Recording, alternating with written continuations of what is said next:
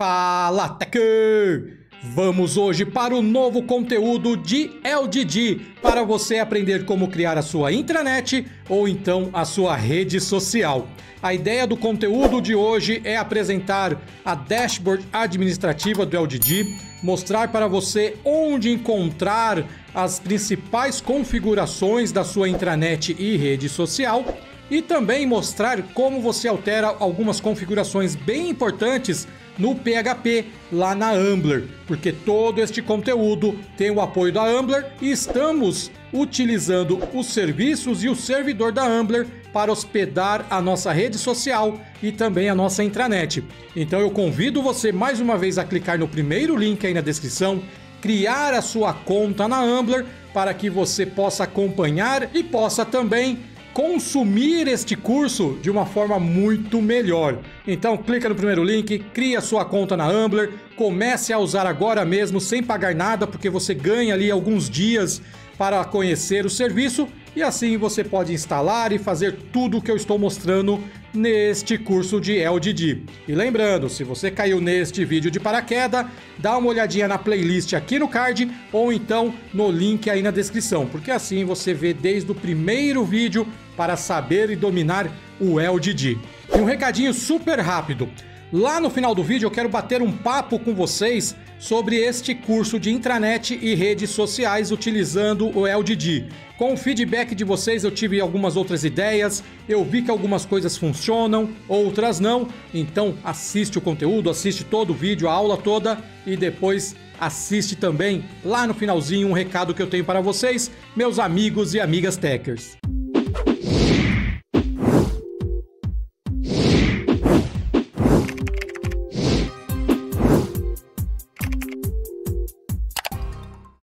Vídeo anterior, nós instalamos e configuramos o LDD lá no servidor da Ambler. Agora, nós vamos ver a dashboard, o painel administrativo da sua rede social ou intranet construída em cima do LDD. Aqui, na página principal da rede social ou da intranet, você deve fazer o seu login como admin. Eu mostrei isso também no vídeo anterior, então você, caso tenha perdido, deve voltar e ver né, e rever a aula. E no momento que você loga como administrador, você tem aqui a visão da intranet, da rede social, mas aqui no menu de account ou no menu de conta, você tem um ícone aqui, um link novo chamado administração. Essa administração só aparece para quem é usuário administrador da plataforma. Usuários comuns que não fazem parte do grupo admin não têm acesso a essa parte que vocês vão ver neste vídeo. Então aqui, olha só que legal. Você tem ah, alguns avisos importantes, né? Você tem aqui uma mensagem de bem-vindo. Ele fala que por enquanto a sua rede social, sua intranet não aceita que os usuários criem suas contas, então a parte de registro está desabilitada. Nós já vamos habilitar isso já já. Aqui ele te dá algumas outras informações sobre os menus que estão aqui do lado. Então isso é interessante, porque ele te ajuda como novo usuário a entender como as coisas, né, como os menus aqui, cada um destes itens funcionam. E olha só que bacana, você tem aqui nas informações é, dados importantes do servidor que você está utilizando para hospedar a sua intranet ou sua rede social LDD. E se a gente vier aqui em server, né, em servidor, olha só, ele fala que a gente tem que fazer uma alteração de escrita lá no nosso HT Access. Eu vou fazer isso depois, num outro vídeo. Mas o que eu quero mostrar para vocês é que aqui no PHP você também tem todas as informações, inclusive de memória e de, ó, de post maximum size. Isso aqui é muito importante, porque ele até dá um alerta aqui ó, no upload, né, no arquivo máximo de upload, ele te dá aqui uma informação que a, o que nós temos configurado é, pode ser que não seja suficiente. Então é legal a gente alterar este número aqui, né? Este, este tamanho, esta configuração. E para a gente fazer isso na Ambler é muito fácil. Você só precisa fazer isso aqui: ir lá no painel de controle, ir na opção Configurações, Configurações do PHP. E aqui embaixo, olha só, você tem todas estas opções. Então você tem a memória limite, tá 256 a gente pode até subir um pouquinho, vamos subir para 512, o que vocês acham? Vamos deixar em 512? Aqui o input time está em 60 segundos, já é mais do que o suficiente, mas a gente pode pôr 100. É, a execução também, a gente pode pôr 100 aqui, porque é um número interessante. As variáveis a gente não precisa. Agora olha aqui, o upload de máximo de arquivos, né, de tamanho de arquivos. Está 30 mega, vamos por 100 também, né? A gente deixa, né? É, isso aqui tem que variar muito do seu projeto, tá? De repente você tem aí uma rede social e você não tem muito dinheiro para investir em infraestrutura, em servidor. Então ali nessa questão de tamanho de arquivo, de upload, é bacana, é interessante que você coloque ali um número que não vá consumir muitos recursos do seu servidor. Mas aqui, como é uma aula, e é legal que você entenda como isso funciona, não a parte de negócios, mas a parte de, de desenvolvimento, de, de aplicativo, de aplicação, então aqui é legal você ver essa alteração. Mas quando você for fazer ali o seu plano de negócios e for pensar como o seu produto deve funcionar e quanto ele deve gastar mensalmente, para ver que, né, para ver se o valor que entra é compatível e vale a pena é, se comparado ao valor que sai. Então, tudo isso é bem importante quando você trabalha com aplicações mais pesadas, como uma intranet e uma rede social. Então, aqui eu mudei, alterei para 100, mas pode ser que você tenha que deixar esse tamanho menor, dependendo aí do seu negócio, dependendo do que você está fazendo. Aqui no Max Size é legal também a gente aumentar, você pode deixar 100 e o restante das, das configurações a gente vai deixar como está. Aí eu clico em salvar ele vai fazer já esta alteração ali na minha, no meu servidor, aqui no meu Cloud Ambler, e depois disso eu já consigo é, continuar ali no meu LGD, porque agora eu já tenho o PHP configurado, bonitinho, funcionando do jeito que eu preciso. E agora, se eu voltar lá no meu LGD, no minha intranet, na minha rede social, e for lá nas, nas, nas configurações, ou onde ele me informa as configurações do PHP, olha só, ele já aumentou aqui e tirou aquela mensagem de erro. Mas, como eu falei né, anteriormente, é importante que você mensure bem se pode ou não aumentar estas, estas questões de upload, porque isso vai consumir recurso ali do seu servidor. Então, tome bastante cuidado é, quando você for fazer isso, beleza? Combinado? Agora é o seguinte, vamos voltar lá para a nossa dashboard, para o nosso painel administrativo do LDD e vocês vão ver que vocês podem fazer tudo, praticamente tudo que vocês quiserem na sua rede social ou na sua intranet. Isso que é legal no LDD. Então aqui, olha só, na parte administrativa você tem a dashboard, que é onde você tem uma visão geral de tudo, inclusive os seus usuários online, os novos usuários, Aqui são algumas estatísticas ali do seu, da sua rede social, da sua intranet. E você tem também aqui a parte de plugins no menu. Os plugins são complementos que você instala na sua rede social, na sua intranet, para ampliar a quantidade de recursos disponíveis para o seu usuário final, ali para quem vai usar o seu sistema ou o seu site. E olha só que legal, você tem um monte de plugins que já fazem parte do LDD e tem mais um monte de outros plugins que você pode baixar e instalar. Isso eu vou mostrar num outro vídeo, como você baixa e instala. Olha só que legal, você tem vários plugins aqui, você consegue ver os plugins que estão ativos, então ele só vai mostrar os plugins ativos.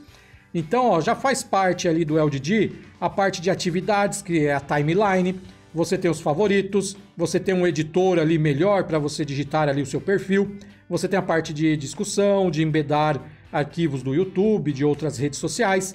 Você tem a parte de amigos, então você pode ter amigos dentro da rede, isso é bem legal.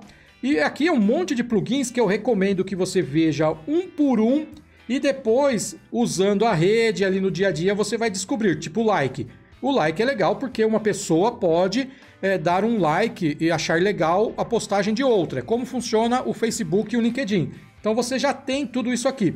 Daí você fala, ah, mas a minha intranet, minha rede social não tem que ter blog. Eu não quero que meus usuários criem um blog lá dentro. Então você pode simplesmente desabilitar esta função. O que ele faz? Ele desabilita este plugin, mas não apaga o código do plugin ali do, do seu servidor. Então, se amanhã ou depois você falar, ah, agora que a rede está funcionando, agora que todo mundo aqui da empresa está usando minha intranet, todo mundo está acessando a minha rede social de times do coração que eu tenho. Enfim, rede social pode ser o que você quiser. É, daí você vai lá e habilita novamente o blog. Isso também é negócio, é produto que você tem que avaliar o que vale ou não a pena estar habilitado ou disponível para o usuário logo na, no lançamento ali da sua rede ou da sua intranet. Então é, é uma questão mais é, do que você quer apresentar, do que você quer ter como produto final. Mas o bacana é que é simples assim. Cheguei aqui, desabilitei o blog e ele sumiu. Então, se eu for lá na visão do usuário, que da, da minha rede social, da minha intranet, eu não vou ter mais a opção de blog aqui, né? Então eu não posso mais criar blog. Mas se amanhã ou depois eu quiser habilitar de novo, eu venho aqui e habilito. E aqui, né, como eu já fui nos plugins inativos, né, que estão desabilitados, olha só que bacana.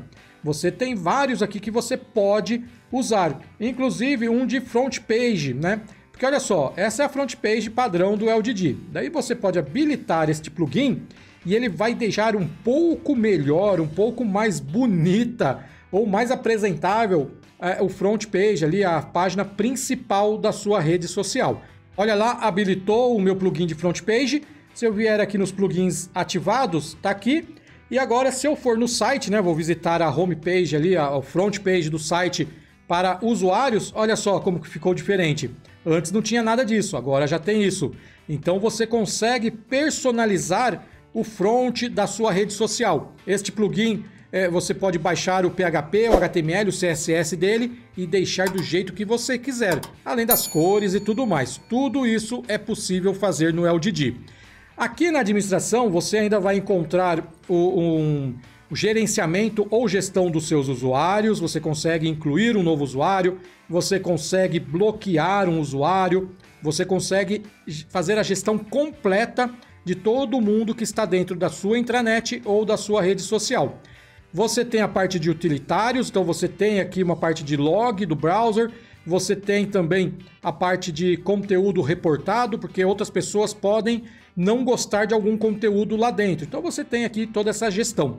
Você tem a parte de upgrades, então de repente saiu uma versão nova do LDD, você também tem a gestão desse tipo de, de coisa ou desse tipo de ação aqui dentro da sua rede, do seu da sua intranet. Então saiu uma versão nova de um plugin, você descobre. Saiu uma versão nova do core do LDD, você também descobre e pode ser alertado. Então você tem tudo isso aqui é, de um jeito fácil e rápido para você saber se você está com os últimos updates de segurança e tudo mais que faz parte ali da sua rede social, da sua intranet.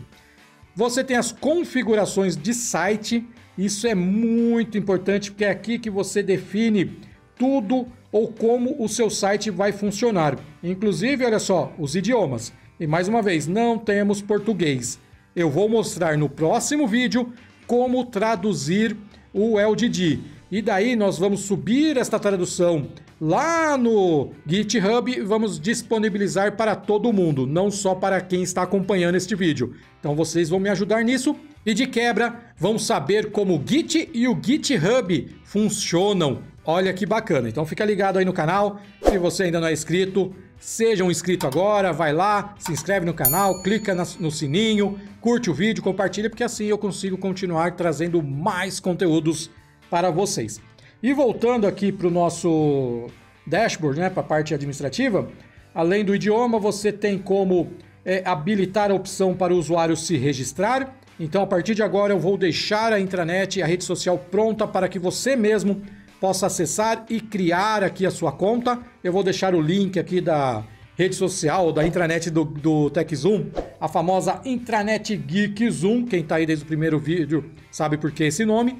É, e daí você pode se inscrever aí já ir usando o LDD como um usuário. Vai lá, cria seu perfil e assim você pode entender como tudo funciona. É, você também tem como é, ter a validação, então todo mundo que se inscrever, eu como admin tenho que aprovar, eu não vou deixar isso habilitado agora. E aqui eu posso habilitar né, a opção do usuário poder trocar o, o, o username dele, ali, o, o nome de usuário. Eu também não vou deixar isso habilitado por enquanto. Aqui a parte de cache, nós vamos ter um vídeo só sobre isso, porque é muito importante para você não gastar dinheiro errado com a sua hospedagem. Então, a parte de cache, eu quero fazer um conteúdo específico sobre isso. A parte de conteúdo vai ter um vídeo só sobre isso também, porque nós vamos criar algumas páginas especiais aqui dentro. E agora, olha só, aqui é se eu quero tirar o nome LDD da minha rede social. Sim, eu quero. Então eu vou te remover o nome LDD. E aqui é desabilitar o RSS. Por enquanto eu vou deixar. Então eu alterei tudo que eu queria, cliquei em salvar. E como eu falei, algumas das coisas que estão aqui na administração do site, nós vamos ver em vídeos independentes, em vídeos específicos, porque são assuntos muito importantes e que merecem um conteúdo especial ali, um conteúdo é só sobre aquele tema, beleza? É por isso que você tem que ver o comunicado lá no final, porque vai fazer muito mais sentido para você. E agora, aqui no nosso painel administrativo, aqui embaixo nas configurações, nós temos a parte de segurança. Isso também vai ser um vídeo só sobre segurança, sobre SSL, HTTPS. Eu vou falar sobre tudo isso com vocês, mas isso aqui nós vamos chegar na hora que for fazer a publicação, colocar em produção no domínio oficial a nossa intranet. Aqui é a parte de configurações dos plugins. Tem plugins no LDD que possuem configurações extras, que são configurações específicas de cada plugin. Isso aqui também depende muito do que você vai oferecer, de como você vai oferecer.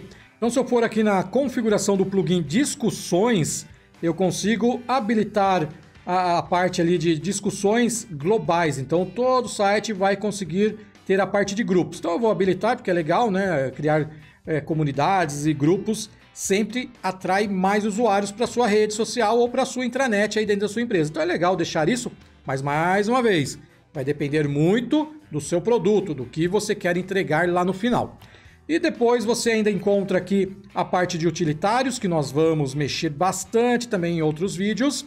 E aqui a parte de servidores a gente já deu uma olhadinha de como funciona, mas eu ainda não falei aqui do Chrome. Nós vamos ter também a parte de você definir algumas tarefas, alguns Chrome Jobs aqui dentro da rede. Por hoje é só, o vídeo já ficou super longo, eu tô vendo que já deu vários minutos, mas agora eu quero que você deixe nos comentários as suas principais dúvidas sobre a dashboard do LDD que assim nos próximos vídeos eu vou direto nas dúvidas, nas principais dúvidas, e o conteúdo vai ser muito mais legal. E é justamente sobre isso que eu vou conversar com vocês agora. Então, aguenta aí, depois da vinhetinha, rapidinho, eu volto para dar um recado super rápido e importante.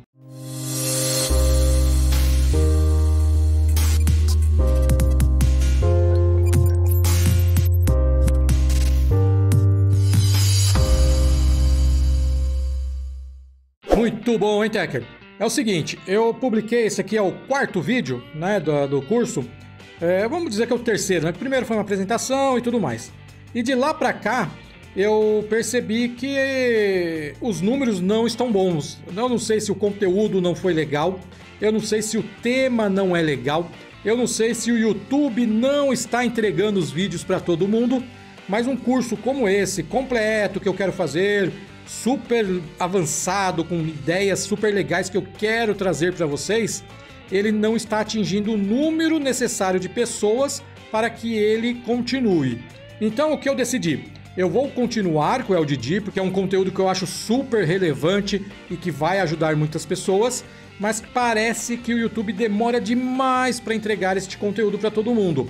E tem vídeos que eu lanço há 3, 4 meses que ele começa a bombar assim do nada. De repente ele sobe de 500 visualizações para 20, 30, 50 mil. Então eu estou entendendo ainda, eu estou tentando entender como o YouTube funciona e por que ele não está entregando todos os conteúdos do canal. E então isso às vezes me deixa meio triste, assim, fala, pô, tô trabalhando e ninguém tá vendo. Tô fazendo coisas que todo mundo pede, mas ninguém tá vendo. Então isso acaba desmotivando um pouco a gente. Mas eu não vou desmotivar, porque a minha missão é essa aqui no YouTube. Desde de 2012 eu tô aqui nessa.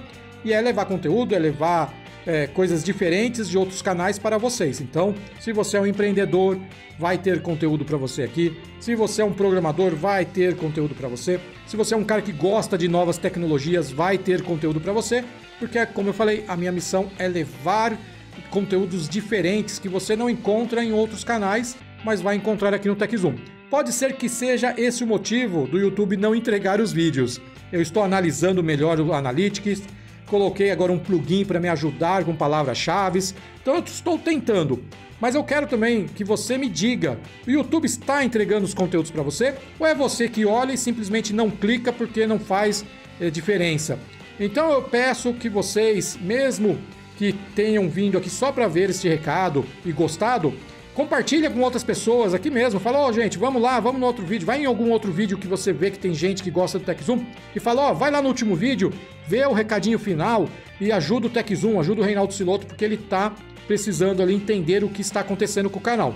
Então eu conto com vocês mas eu não quero preocupar ninguém. O TechZoom vai continuar, o conteúdo vai continuar, mas eu preciso entender por que tem poucas visualizações. E isso me atrapalha um pouco, porque eu preciso. O YouTube é feito de visualizações, de likes, de comentários. Até os comentários diminuíram. Então eu preciso entender o que está acontecendo. Se é o conteúdo, eu vou tentar trabalhar melhor ele. Se é a forma de edição, vou tentar trabalhar ele. Mas o importante é que fique de recado aqui é que eu preciso entender por que, que os números estão tão, né, estão subindo, descendo, assim, tem hora que tem vídeo de 30 mil em dois dias, né, 30 mil visualizações, de repente eu tenho um vídeo que fica com 500, 600, não chega a mil visualizações, que é o exemplo deste curso de LDD. Então, será que é o conteúdo ou será que o YouTube não está entregando este vídeo para todo mundo? Então, me ajuda aí, amigo e amiga Techer, que eu preciso entender o que está ocorrendo para que eu possa melhorar tudo aqui no canal.